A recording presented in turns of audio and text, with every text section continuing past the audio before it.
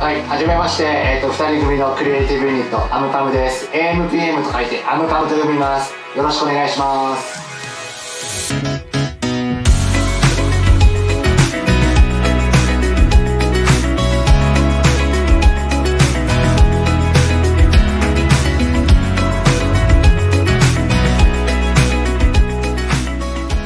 えっ、と、理由はまあいろいろあるんだけども、まあ一つはやっぱり、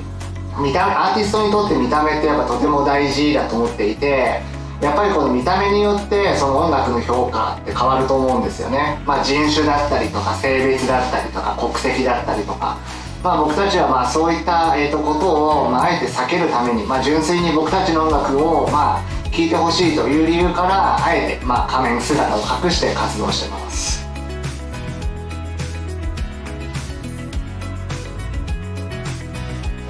出会い、うん、そうですね、まあ、出会いはもう10年以上前になるんだけども、えーとまあ、当時私が洋服の販売の仕事をしていて、まあ、彼がそのお客さんだったっていうのが、まあ、最初の出会いですね。でまあ一緒にやろうとしたきっかけは、まあ、2015年に、まあ、僕たち一緒の会社を作っているんですけどもまあえっ、とまあそこがきっかけでまあえー音楽を作ろうと。いうのが、まあ、プロジェクトの始まりでした。でまあ当時は、まあ、アーティストとしてデビュー曲は作ろうと思ったんだけども、えっと、アーティストとして、えっと、デビューする予定はなかったんですけどもまあえっと、最初に作った楽曲、まあ、僕たちのデビューシングルである「ベストパートオブアース」っていう楽曲があるんですけど、まあ、それができて、まあ、とてもいい曲だったんで、まあ、せっかくなら、えーまあ、これを出そうということで、まあ、アーティストになり、まあ、今に至ってるという感じですね。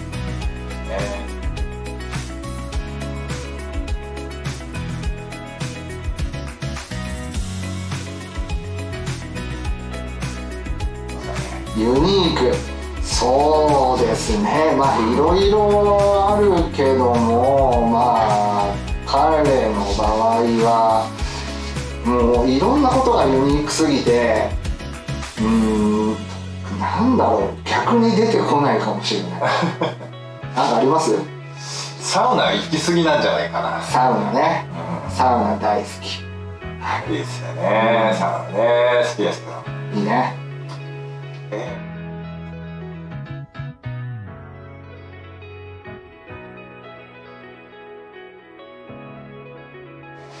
えっ、とまあ本当に世界にはたくさん素敵なアーティストがいるので、まあ、コラボレーションしたいアーティストがたくさんいるんですけども、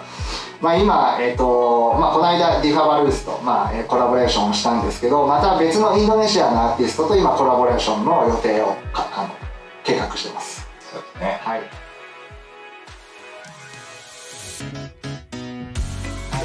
えー、と新曲「 Afterglow featuring キンバリー・チェンがリリースされているんですけども、まあ、この曲は、まあ、これからの季節にぴったりな夏に向けた、まあ、楽曲で、まあえーリリースをしてます。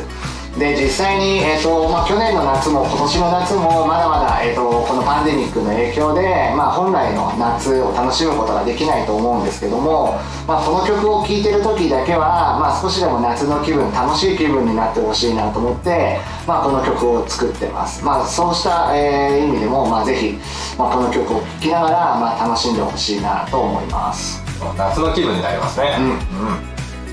えーコラボしている、えーキンバリーチェンについてお願いします、そうですね、えーとまあ、彼女の、えー、と SNS とか見てもらうと、まあ、わかると思うんだけどもとてもその愛らしいキュートなアーティストです。で実際に、まあ、今回の「Afterglow も Afterglow の歌詞も、まあ、その本当にキュートな、まあ、キンバリーのイメージにぴったりな、歌詞にもなってると思うので、まあ、そうした部分の、まあ、今回の楽曲の、まあえー注目ポイントかなと思います、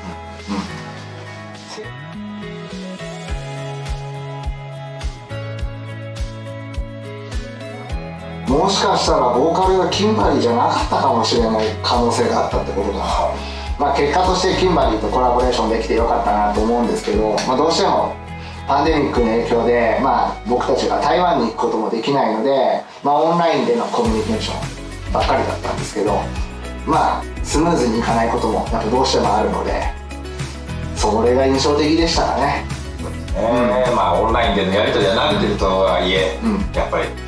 変わりましたね、はい。え覚えてないですけど2ヶ月とか3ヶ月ぐらいですかね。ーえー僕たちマスクをつけて活動してるんですけども、えー、とつけてる上で一番良かったことってあとは悪かったこととか。悪かったことはいうん良かったことはやっぱりプライベートが守られてることですね。あのーまあ当然僕たち普段の生活は仮面を外して生活してますけどもまあ誰も僕たちがアーティストだっていうことがまあわからないのでまあプライベートが守られるっていうのは良かったことかなと思います。で悪かったことはやっぱりこう仮面つけてると暑いし苦しいのでやっぱライブの時がとても大変。えー、なかなか前も見えない。うんそう。えー、大変じゃ大変ですね、まあこうマスクつけてるんですけどもやっぱり顔見せてくださいっていう質問が来たりするんですけど、やっぱり困りますかねこういうの。ねうーん。そうですね。困る。まあ困る。そうだな。まあ多分僕たちの顔を見ても、まあ、みんながもしかしたらがっかりするかもしれないから見ない方がいいんじゃないと思います。確かに。まあ他にはまああと困ることとかなんかありますかね。他に困ること？仮面外して困ることはプライベートがなくなる可能性があるんじゃない？そうですよね、確かに。親しい友人とまあマスクなしで、うん。まあ遊んでる時とかあると思うんですけど、グループ写真撮ろうって言われた時に、うん。どうします？仮面持ってたら仮面つけて写真撮るかな。あ仮面持ってなかったら、うん、なんだろう。普通のプライベートな一個人として写真を撮ると思います。確かにそうですね、うん。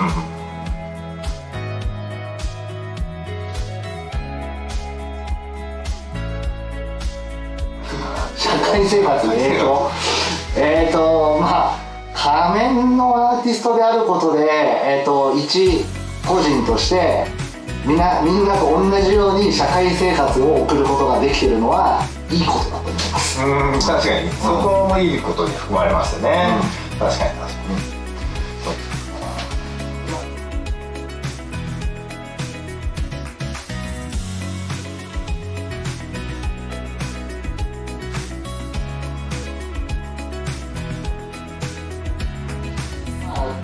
当にいろんなアーティストから影響を受けてるとは思ってますけどもまあその中でもやっぱり偉大なアーティストと呼ばれる人たちからは多分とても大きな影響を受けてると思っていて例えば、えーマイケル・ジャクソンであったりとかビートルズであったりっていうアーティストは、まあ、僕たちが活動する上ではまあ大きな影響を受けてるかなと思いますね。偉大ですね、うん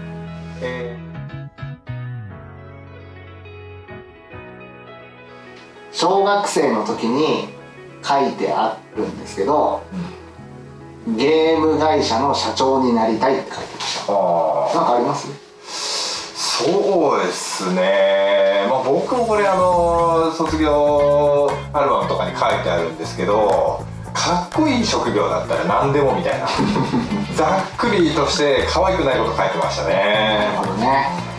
まあでもねお互いそれに近い仕事はしてるか。なそうですね。今がいいと思います。はい。え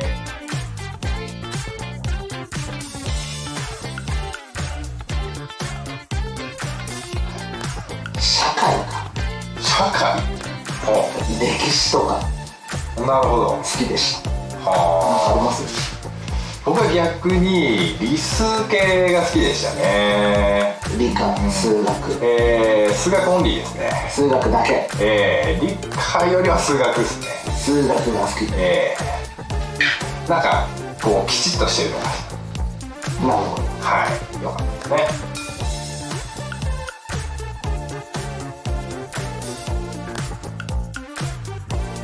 そうですね。まあえっと一番の理由は僕たちがダンスミュージックが好きだっていうことがまあやっぱりシンプルな理由かなと思いますそうですね。楽しくなりますからね、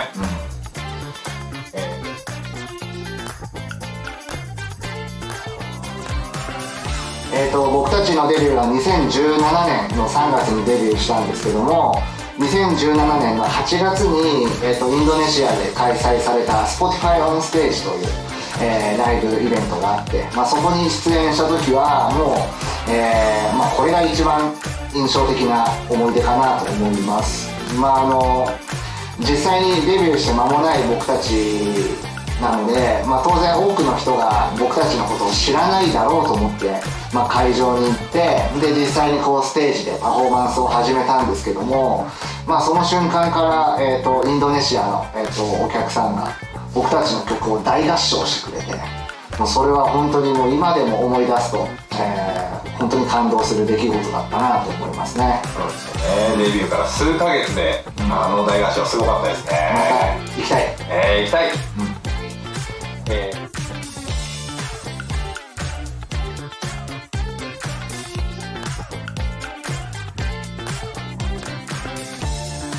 うーん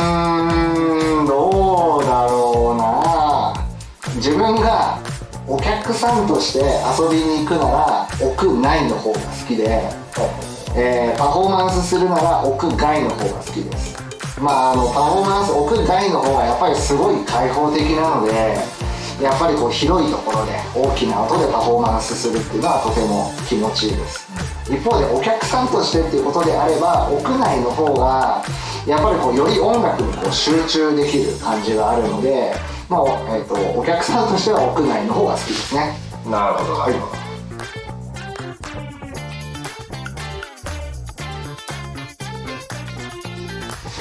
まあ、やっぱり何でもまあやってみることがとても大事だと思ってます。やっぱりこう何度もやって失敗を重ねていくことでだんだん上手になっていくと思うので最初からこううまくやろうとせずにまあ自分の成長に合わせてどんどんどんどんアウトプットをしていきながらまあいろんな人のアドバイスを聞いたり、えー、と実際にこうアウトプットをすることで自分自身で課題も、えー、と見つけられると思うので、まあ、とにかくえー、挑戦してみることさらにはまあ実行すること、まあ、これがとても大事なんじゃないかなと思います。なるほど、うん、成長と勉強ですね。はい。えー、どうもうんそうですね。あのまあ技術の進化っていうのはまあ誰にも止められないことだと思いますしまあ僕たちの生活をより良くするものだと思うのでまあえっ、ととてもいいことだとは思ってます。で実際にまあその音楽においてもまあ、えー、機材の進化であったりとかあるいはえー、誰でも、まあ、気軽に、えー、音楽を配信することもできるし聴くこともできるっていうことは、まあ、とても、えー、喜ばしいことだと思ってます。逆にまあこれからまたどんな、えーと音楽においても進化があるのかなっていうのは楽しみですね。どうでしょうね、えーとまあ、気が付かないだけでさっきの通りまり、機材が進化したりもしているので、まあ、そうしたことで、まあ、これまでよりも、えー、より早くあるいはより高いクオリティで曲が作れるようにはなってるかもしれないですね。そうですね。Thank you for watching. I hope you guys enjoy it. Don't forget to check Japanese station for the latest Japanese news. Bye bye. Bye bye.